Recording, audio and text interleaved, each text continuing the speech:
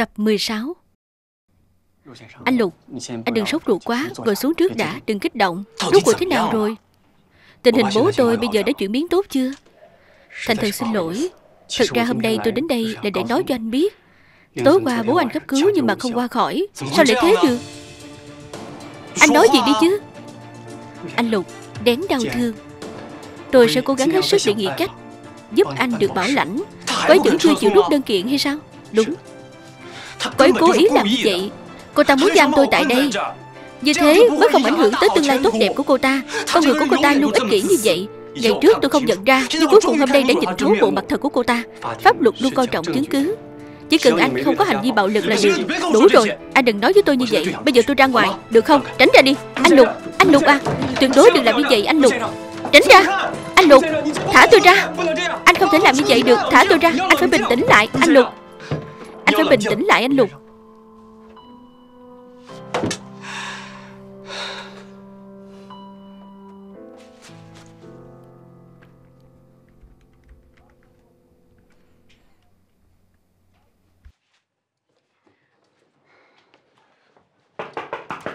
Có ai không? Có ai không? Đến rồi đây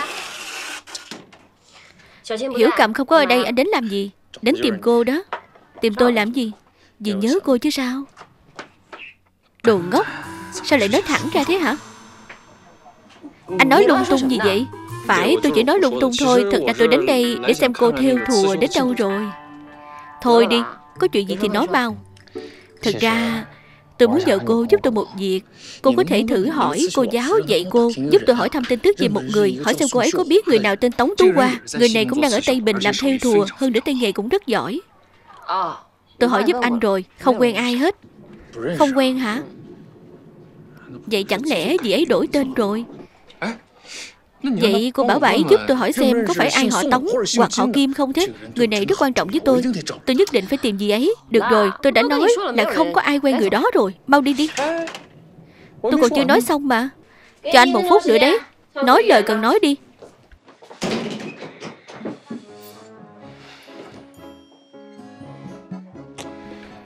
Sao hôm nay tôi cảm thấy cô có chút bất thường thế nhỉ? Cứ luôn muốn đuổi tôi đi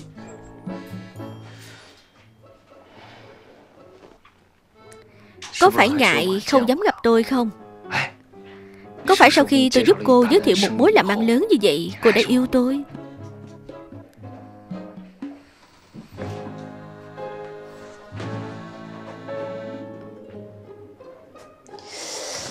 Lý Dân Khải ơi Lý Dân Khải Lòng tự tin của anh từ đâu mà có vậy?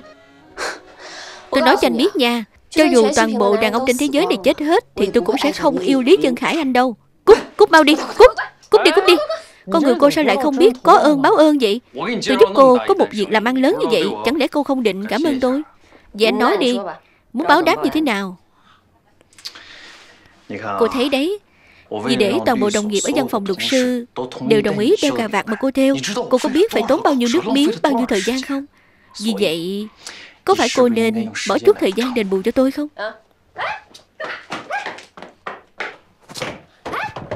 Đi đâu vậy? Nhanh lên Anh kéo tay tôi đến đây làm gì? Anh từ từ thôi. Nào nào nào nào Lên thuyền đi. Nhanh lên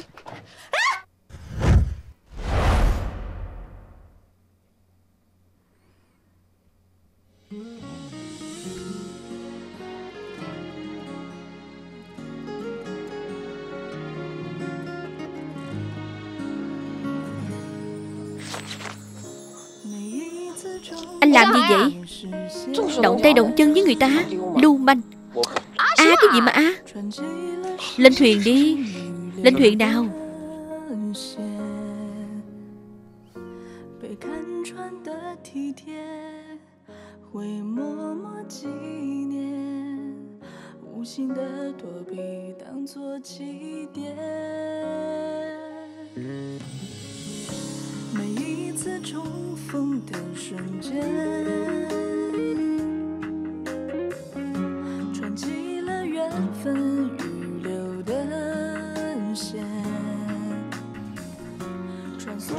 Không phải tôi cố ý đâu. Anh cố ý thì có. Được rồi, bác ơi, Dừng lại cho muốn xuống thuyền. Cẩn thận cẩn thận.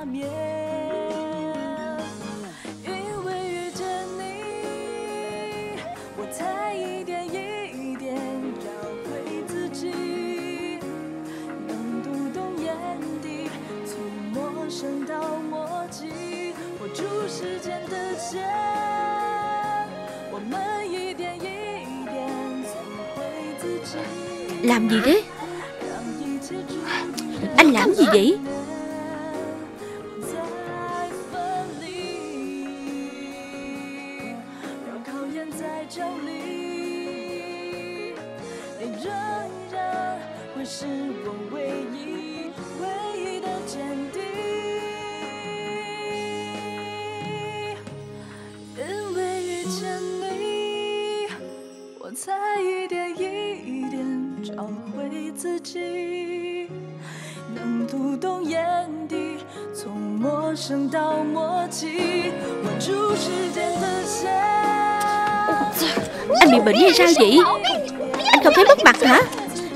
Thuyền lại đi cháu muốn xuống thuyền. Lưu manh xuống thuyền làm gì?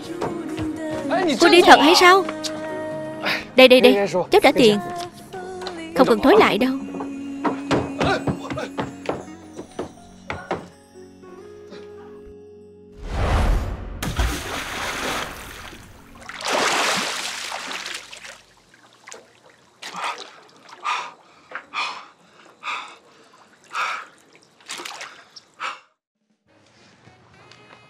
？Cô thực sự muốn ra nước ngoài du học hay sao?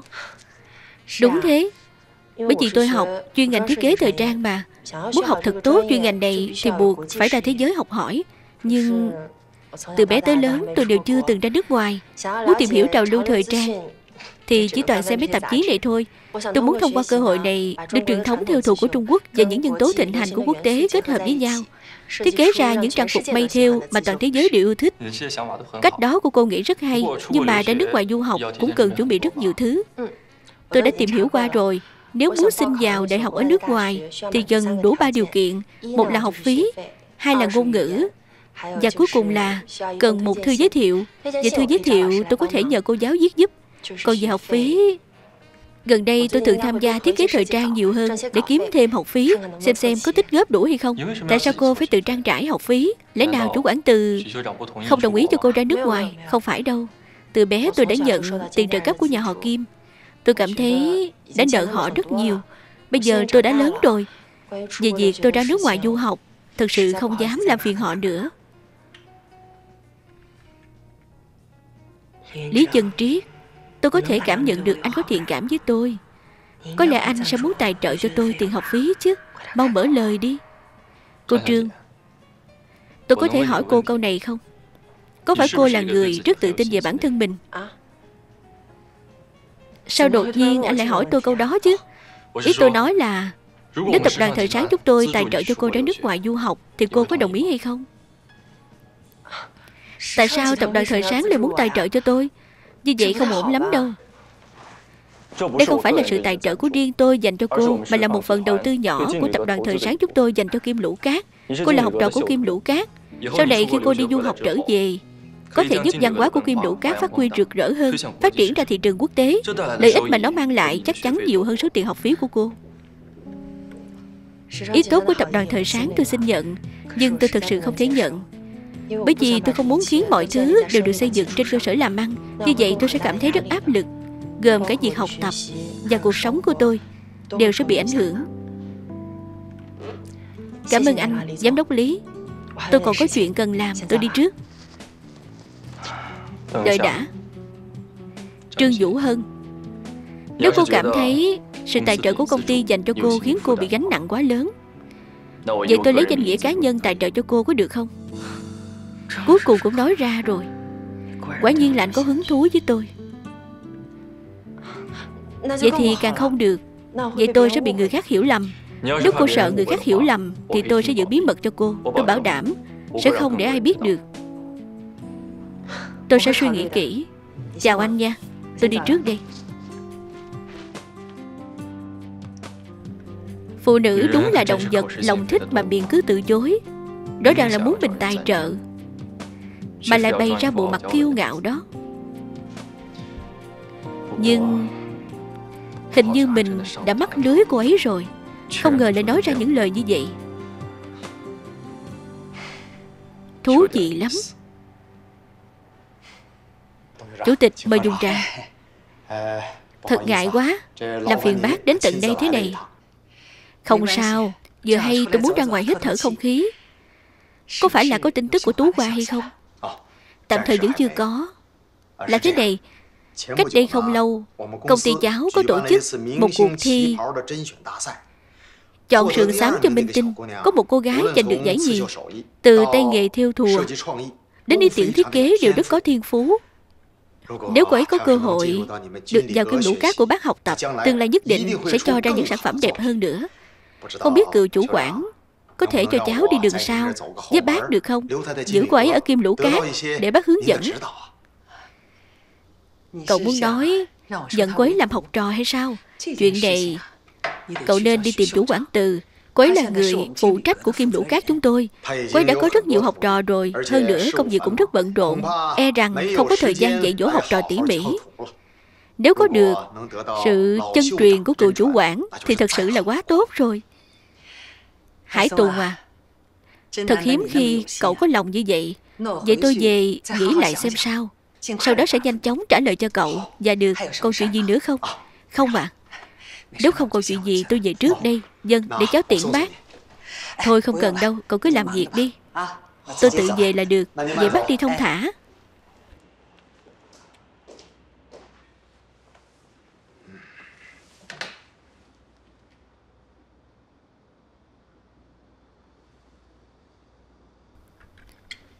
Qua. Chuyện em nhờ anh làm. Anh đã nói với cựu chủ quản rồi. Em yên tâm đi. Được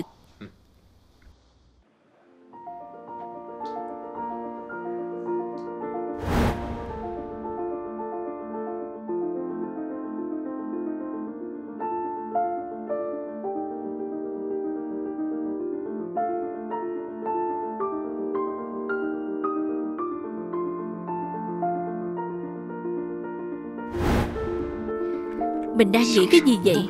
Mình đang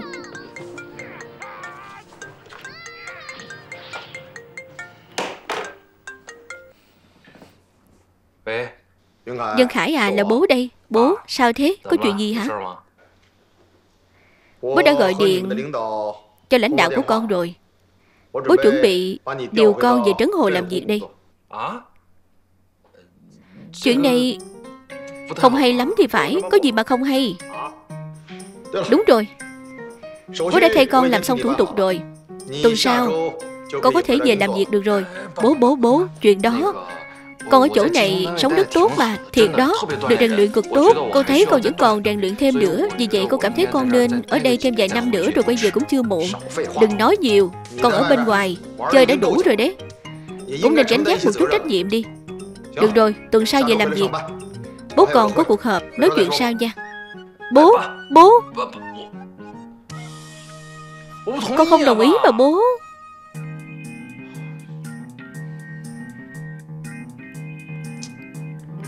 Hỏng rồi. Lại phải cô đơn 5 năm nữa rồi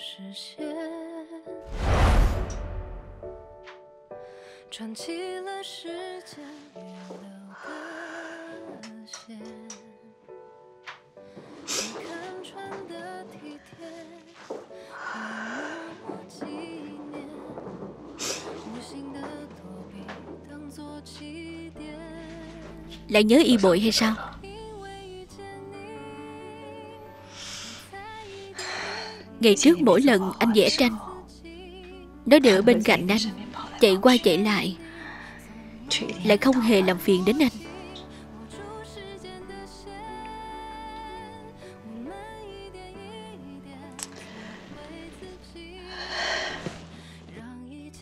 Mấy hôm nay anh luôn nghĩ rằng, Y bội năm đó, Không thể trở về tham gia cuộc thi. Có lẽ là tuổi nó còn quá nhỏ Không nhớ được đường về nhà. Bây giờ nó lớn rồi. Nhìn thấy bức tranh này Nó nhất định sẽ trở về. Chí Minh Chúng ta hãy dùng bức tranh này Đến chỗ đăng tin tìm người thân đi. Chỉ cần vợ chồng chúng ta Đồng tâm hiệp lực Thì nhất định sẽ tìm được con gái về thôi.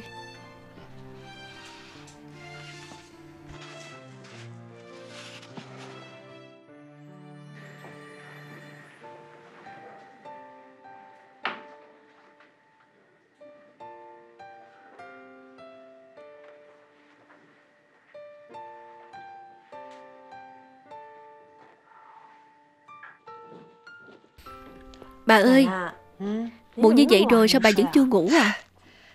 Tuổi cao rồi nên khó ngủ thôi. Cháu thật muốn giúp bà theo, Nhưng Trình độ của cháu kém xa bà rất nhiều. Cháu còn trẻ mà, cứ từ từ. À đúng rồi, Vũ Hân à. Bà có chuyện này cần hỏi cháu. Lần này, cuộc thi chọn áo dài cho ngôi sao. Người giành giải nhì là một người như thế nào? Sao đột nhiên bà lại hỏi chuyện này à Bà ấy Có một người bạn nhờ bà. Nhận nó làm học trò. Đứa con gái đó Phẩm hạnh, tính tình. Rốt cuộc ra sao? Cháu và cô ấy cũng không thân nhau lắm Cũng chỉ gặp nhau hai lần thôi. Nhưng cháu cảm thấy Cô ấy có chút ham danh lợi Thế là ý gì chứ? Lúc tham gia cuộc thi Vì để Ngôi Lệ Sa thích tác phẩm của cô ấy hơn Đã thêm vào chỉ may một loại chất nhuộm đặc biệt Kết quả khiến cho Ngôi Lệ Sa bị dị ứng. Có lẽ là sợ chịu trách nhiệm Nên cũng không thèm nói câu nào để chạy mất. Cô ta là người không có trách nhiệm như thế hay sao? Con người cháu không thích Nói xấu sau lưng người khác. Nhưng Cháu thật sự thấy cô ấy không thích hợp vào kim lũ cát chúng ta. Bà hiểu rồi. Vậy bà nghỉ ngơi sớm đi. Cháu về trước đây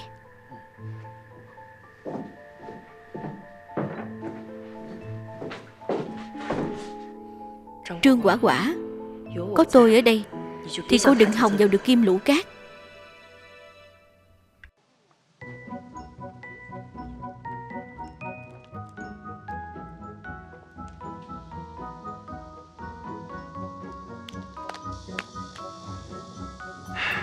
Hôm nay anh nhất định phải có được em. Anh đẹp trai thế này Làm gì có chuyện em không đồng ý chứ?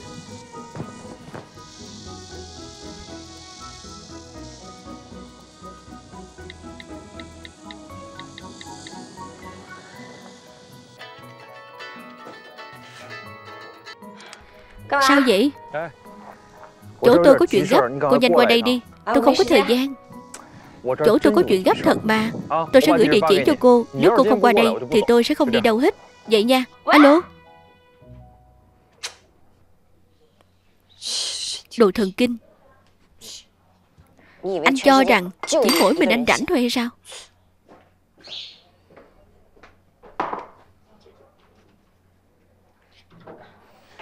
Làm gì có thời gian chơi đùa với anh chứ, Đồ thần kinh?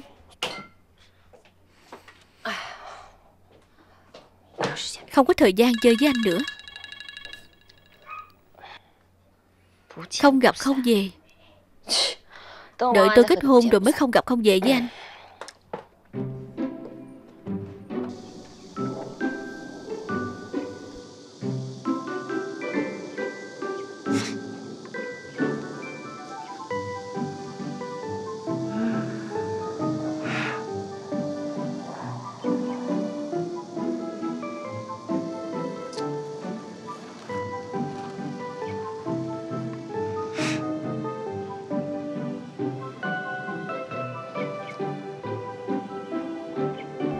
Quả quả. Anh muốn em làm bạn gái của anh. Anh yêu em. Anh hy vọng chúng ta sẽ ở bên nhau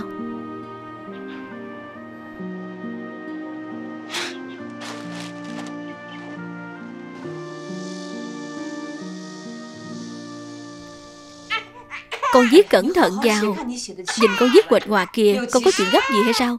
Cũng không có chuyện gì đâu. Chỉ là một người bạn của con, Hẹn gặp con một lát thôi.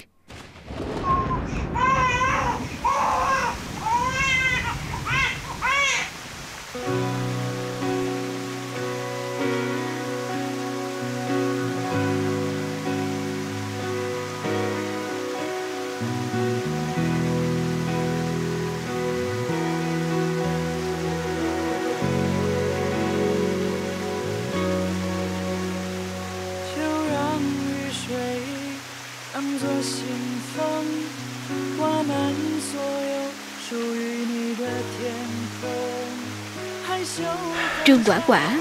Em đang ở đâu? Xin em nhất định phải xuất hiện đấy. Xin em.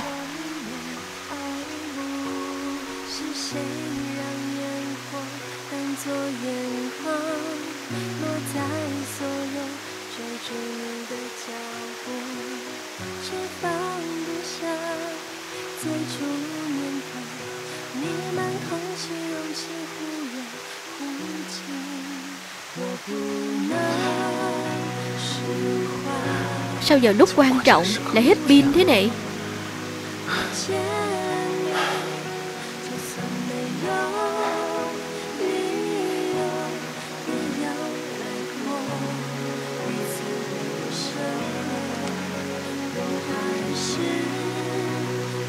Tắt máy rồi. Tự nhiên lại tắt máy làm gì?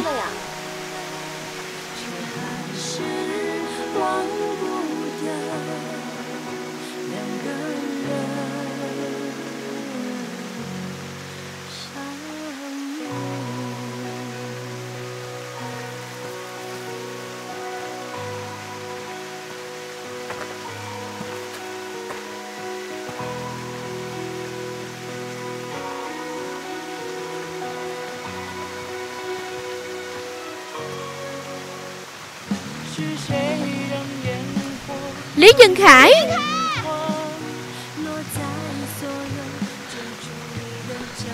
Lý Dân Khải.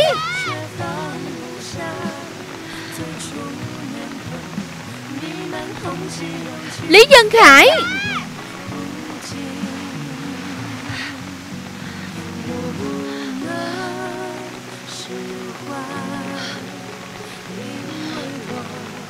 Đồ chết tiệt. Đã nói là không gặp không về. Chạy đi đâu rồi không biết?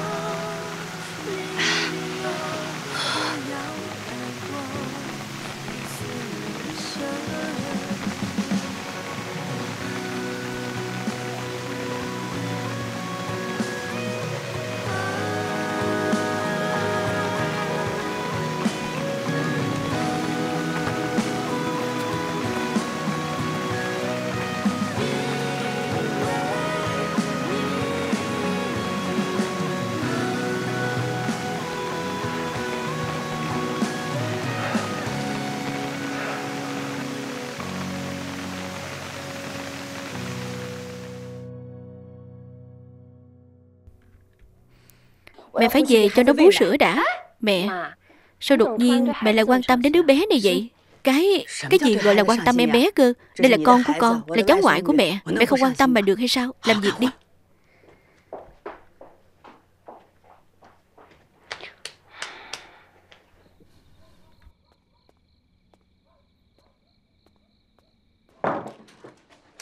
Quả quả Đứa bé lúc nãy mẹ cháu bé là con cái nhà ai vậy? Đáng yêu quá à. Đúng là rất đáng yêu. Quả quả Lẽ nào là con của cháu hay sao? Giới trẻ bây giờ ấy à Đâu giống như thời đại chúng ta. Đúng thế, cô loan hoành thánh của mình đi. Đừng nói linh tinh nữa. Sao thế được, quả quả, cháu vẫn chưa kết hôn mà Làm sao có con được. Con của cháu thì là con của cháu thôi. Cô thanh toán tiền đi. Hết 20 tệ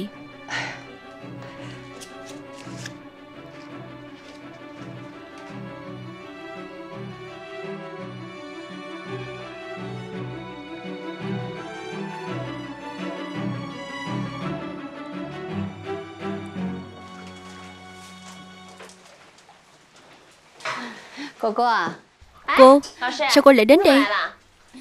Đi đưa hàng bây giờ hay sao? Con giao đến văn phòng luật sư. Quả quả. Cô muốn bàn bạc với con một chuyện. Chuyện gì vậy cô? Cô đang nghĩ Cô xem có thể tìm cho Lạc Đồng một người tốt. Tặng nó đi. Cô đưa con đến Trấn Hồ. Trấn Hồ Đến Trấn Hồ học theo thùa với cụ chủ quản Có được không Cụ chủ quản Người cô nói là nghệ nhân theo hàng đầu trong nước Đúng Bảy chịu nhận con sao Chỉ cần con đồng ý Thì chuyện bên đó cô sẽ giúp con sắp xếp ổn thỏa hết Quả quả Cô thật lòng hy vọng Sau này con sẽ thực hiện được ước mơ theo thùa Mà cô chưa thực hiện được Con có đồng ý hay không? Đương nhiên con đồng ý rồi.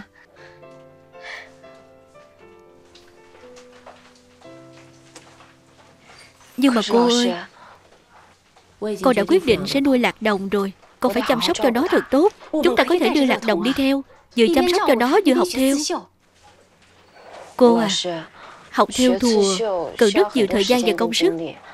Cô còn phải chăm sóc lạc đồng. Con sợ con không gánh nổi Con cảm thấy con vẫn nên ở lại Tây Bình thì hơn. Vì vậy con xin lỗi cô. Con không thể thay cô hoàn thành ước mơ của cô rồi.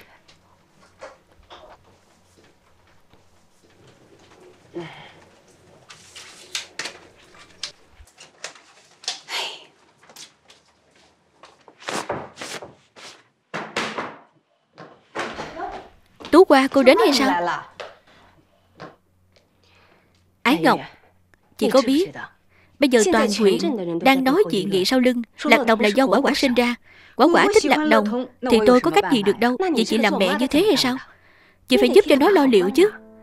Chị có từng nghĩ quả quả còn trẻ như vậy Mà bây giờ chị đã bắt nó nuôi dưỡng một đứa bé Vậy tương lai của nó thì sao? Tú qua Cô nói như vậy. là tôi không vui đâu đấy không liên quan gì đến tôi hết Liên quan gì đến chị hay sao Chị là mẹ của quả quả Chị lại dám nói là không liên quan gì Trong việc lớn bé không rõ ràng như vậy Trước giờ chị chưa từng suy nghĩ cho quả quả Ban đầu nó muốn học theo thì chị cản nó. Bây giờ chị lại bập mờ muốn nuôi đứa trẻ. Chị muốn hủy hoại quả quả hay sao? Tú qua, Cô còn nói như vậy thì tôi sẽ giận đó. Nhiều năm nay tôi giúp cô, Tôi là loại người thế nào mà cô còn không hiểu hay sao? Cô nói như vậy sẽ tổn thương tình cảm với chúng ta đó. Được rồi, tôi còn có chuyện. Hôm nay tôi không tiếp đón cô nữa. Ái Ngọc, Hôm nay tôi không đến cãi nhau với chị. Tôi chỉ muốn nói với chị rằng, Quả quả là học trò của tôi. Chuyện của đó là chuyện của tôi. Chuyện này tôi phải lo liệu tới cùng mới được.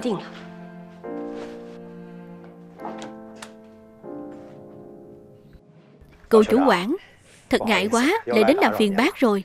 Lần này cháu đến là gì? Chuyện muốn nhờ bác nhận học trò. Quỷ tiệp, Cuộc thi hôm đó cô cũng ở đấy đấy. Cô gái đó chắc cũng gặp rồi. Con nói xem sao. Tay nghề của cô gái đó Quả thực không tồi Là một viên ngọc sáng.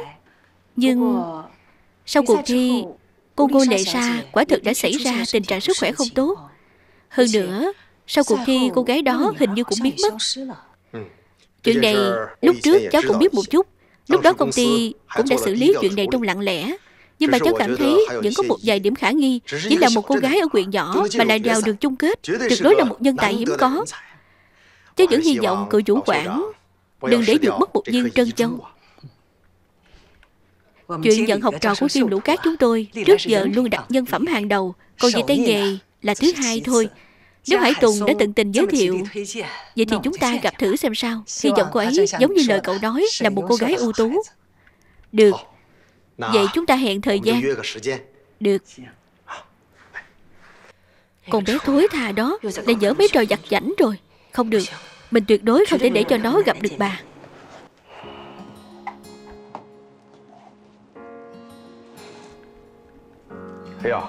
Tay nghề này Khá thật đấy. Vừa phóng khoáng, vừa đẹp đẽ. Trong thời gian ngắn như vậy, Bà làm được nhiều ca vàng như thế. Cháu vất vả quá rồi. Dạ đâu có.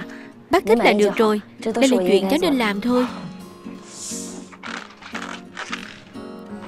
Đây là tiền thù lao chúng ta đã thỏa thuận. Cháu đếm xem. Chúng ta thân quen như vậy, Không cần đếm đâu. Cảm ơn bác. Đây, cảm ơn. Cảm ơn. Đây. Đây, không có gì. Cảm ơn nhé, không có gì. Cà vạt của anh nè.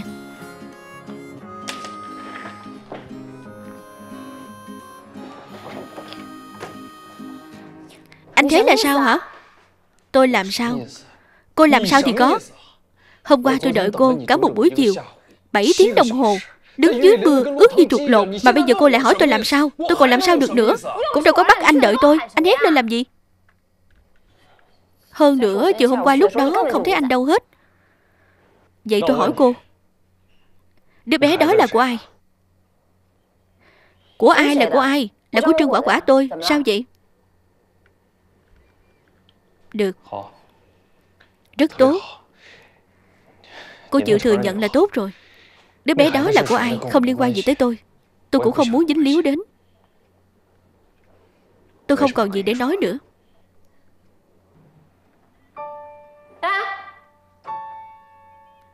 bị thần kinh hả? Kỳ cục hết sức. Trương quả quả Cô thì có gì hay ho chứ? Chẳng qua là biết theo thùa thôi.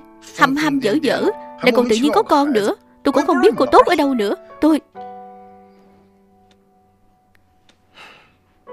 Tôi nhớ cô làm gì. Tôi quên rồi. Tôi đã quên cô rồi. Từ bây giờ tôi bị mất trí. Tôi mất trí nhớ tôi không biết gì hết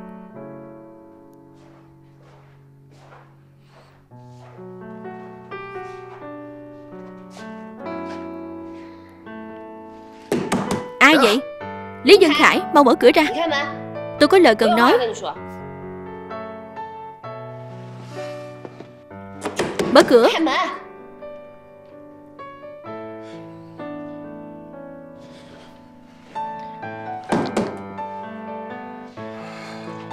Làm gì thế? Tôi thấy hôm nay thái độ của anh với tôi rất không tốt. Sao vậy? Do cà vạt tôi làm cho anh không đẹp hả? Cô đến để hỏi cái này hay sao cũng không chỉ chuyện đó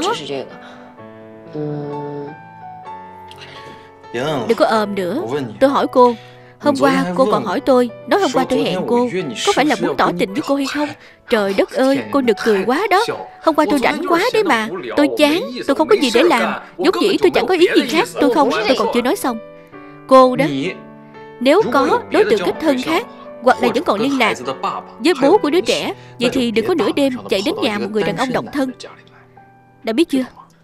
Anh nói gì vậy? Tôi chỉ muốn hỏi anh. Anh tìm tống tú qua làm gì? Anh và cô ấy có quan hệ gì? Có liên quan gì tới cô? Cô không quen gì ấy, thì tại sao tôi phải nói cho cô biết? Tôi nói lại lần nữa, cô đã là một bà mẹ rồi. Vì vậy đừng nửa đêm chạy đến tìm tôi. Tạm biệt. Chuyện này và chuyện làm mẹ đứa bé có liên quan gì tới nhau? Anh nghe tôi nói đã, đứa bé đó. Anh thuốc đấy hả? Chỉ là hôm qua không lập tức đến tìm anh thôi. Có cần nhỏ mọn vậy không? Vốn dĩ muốn nói cho anh biết chuyện. Thôi bỏ đi.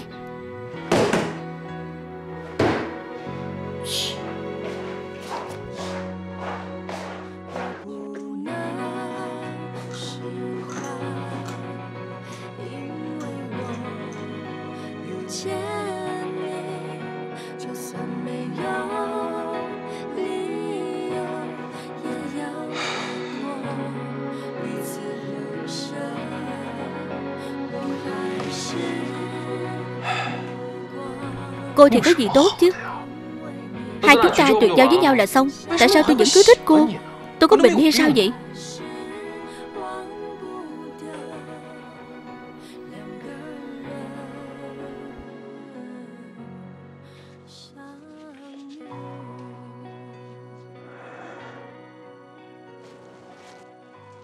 Có ai ở nhà không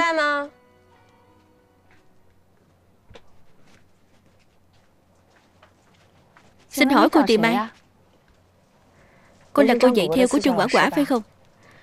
Cháu là người đại diện của Kim Lũ Cát. Cháu tên Trương Vũ Hân Cô có chuyện gì sao? Cháu đến để chuyển lời với cô.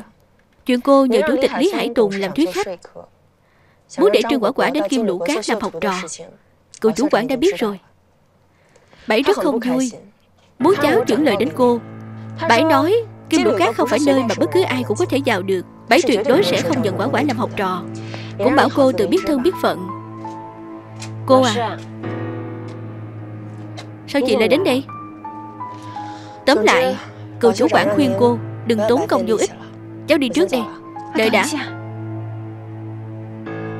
Cựu chủ quản nói như vậy thật hay sao?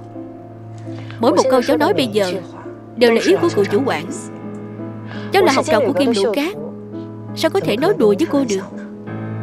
Tạm biệt cô Chị? Chị nói gì với cô thế? Chị Cô ấy là chị của con sao? Dạ không phải. Ban đầu bọn con gặp nhau Trong cuộc thi có nói chuyện vài câu. Chị lớn hơn con Cho nên con gọi là chị thôi. Cô à Cô vẫn ổn chứ.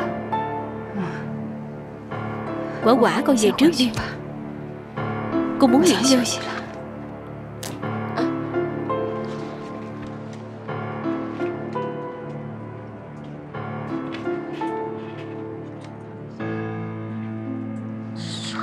Trương Vũ Hân.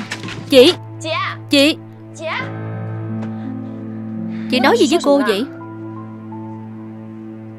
Tôi là đại diện Kim Lũ Cát đến đây Chuyển lời với cô của cô Để bảy hiểu rõ thân phận của bản thân. Đừng tranh giành những thứ không thuộc về mình. Chị à Chị như vậy là quá vô lễ rồi. đó. Ngày trước chị hỗn láo với mẹ Mẹ không nói gì chị Nhưng mà ít nhất chị cũng phải tôn trọng cô của em. Một mình cô tôn trọng là đủ rồi. Tôi chỉ đến chuyển lời thôi. Chị chuyển lời gì? Mà khiến cho cô nghe xong lại buồn như vậy. Cô của cô muốn cô đến Kim Lũ Cát Học theo với cựu chủ quản Cô đừng có giả vờ không biết Đến Kim Lũ Cát. Đừng có giả vờ trước mặt của tôi. Tôi nói cho cô biết. Kim Lũ Cát không phải là nơi Mà cô muốn đến là đến đi là đi. Học theo cũng không phải Cô muốn học là được. Cô cứ ở đây bán hoành thánh của mình đi. Đừng có thứ gì cũng học theo tôi tranh giành với tôi. Có những thứ phải dựa vào thiên phú. Sao cô so với tôi được? Đúng Chị có thiên phú. Lại còn được học đại học. Vậy tại sao chị lại sợ một đứa bán hoành thánh như em? Ai nói tôi sợ cô Tôi sợ cô? liên lụy tôi Tôi nói với cô lần cuối cùng. Cái đời này cũng đừng mơ ước vào kim lũ cát. Khó khăn lắm chị mới về đây. Không đi thăm mẹ hay sao? Tại sao tôi phải thăm mẹ? Còn nữa, Đừng nói với mẹ hôm nay tôi có về đây. Chị! Chẳng có lương tâm gì cả.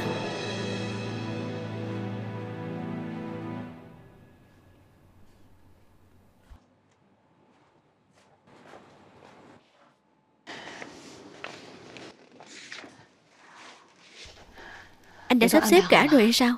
Xong rồi. Biển quảng cáo của toàn bộ bến xe trong thành phố Quảng cáo trên các tuyến xe qua lại trong thành phố xung quanh trấn hồ Và cả quảng cáo trên TV Còn có cả băng rôn Chỉ cần y bội dẫn ở địa bàn tỉnh thành Thì nó nhất định nhìn thấy bức tranh này.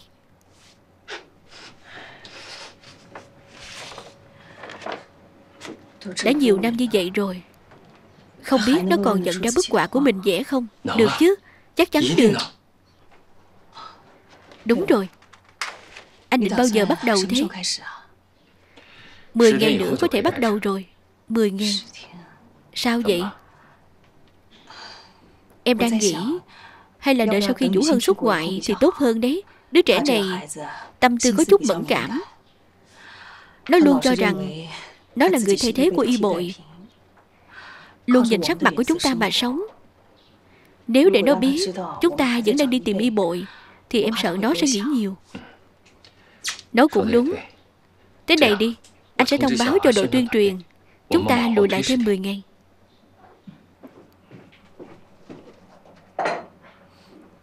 Cô ơi Giám đốc lý của tập đoàn Thời Sáng hẹn cô hôm nay ký hợp đồng Còn nửa tiếng nữa sẽ xuất phát. Được cô chuẩn bị ngay Chí Minh Đợi em về rồi nói sao nha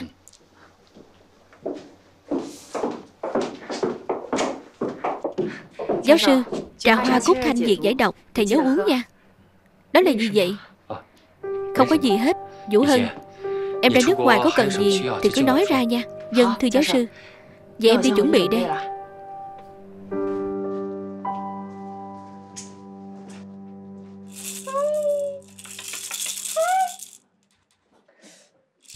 Mẹ Sao nó không chịu uống thế?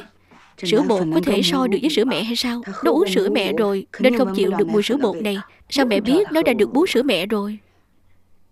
Mẹ từng làm mẹ rồi Chẳng lẽ mẹ lại không biết hay sao? Đứa bé này bệnh khổ quá mà Sức khỏe không tốt lại không chịu ăn. Sợ là không nuôi nổi mất. Mẹ đừng có lo lắng quá. Rồi sẽ có cách thôi